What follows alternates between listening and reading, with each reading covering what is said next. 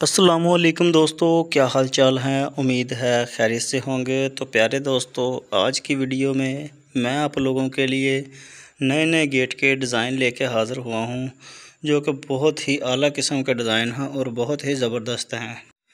प्यारे दोस्तों, ये जितने भी आप डिज़ाइन देख रहे हैं, ये आपको सिंगल पल्ले के अंदर भी मिल जाएँगे और डबल पल्ले के अंदर भी मिल जाएँगे। और स्लाइटिंग भी आप बनवा सकते हैं। वो दूसरे खुलने वाले भी बनवा सकते हैं। ये बहुत ही ज़बरदस्त किस्म के नए डिज़ाइन हैं।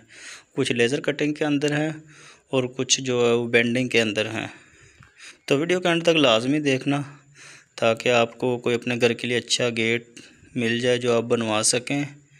और अगर आप चैनल पर नए हैं तो चैनल को सब्सक्राइब कर दें और वीडियो को लाइक कर दें क्योंकि वीडियो बनाने में बहुत मेहनत लगती है तो प्लीज़ सपोर्ट किया करें। तो प्यारे दोस्तों जितने भी गेट हैं, ये बहुत प्यारे और ज़बरदस्त किस्म के गेट हैं। ये नए नए गेटों की तस्वीर मैं आप लोगों के लिए लेके आता हूँ, ताकि आप लोगों को अच्छा गेट अपने घर के लिए मिल जाए। तो प्यारे दोस्तों, ये जितने भी गेट आप देख रहे हैं यह आप लोगों ने चौदह गेज के अंदर बनवाने हैं, ताकि इनके अंदर कोई मसला ना हो, इसलिए आपने चौदह गेज के अंदर ये वाले गेट बनवाने हैं। और रेट मैं आप लोगों को इसलिए नहीं बताता ताकि यार आप लोगों को बाद में मसला ना बने। क्योंकि मैं रेट जो आपको बताता हूँ, वो बाज़ार से आपको वैसा रेट नहीं मिलता। हर बंदे का अपना हिसाब होता है, बनाने का तरीका अलग होता है। इस वजह से रेट भी अलग होता है।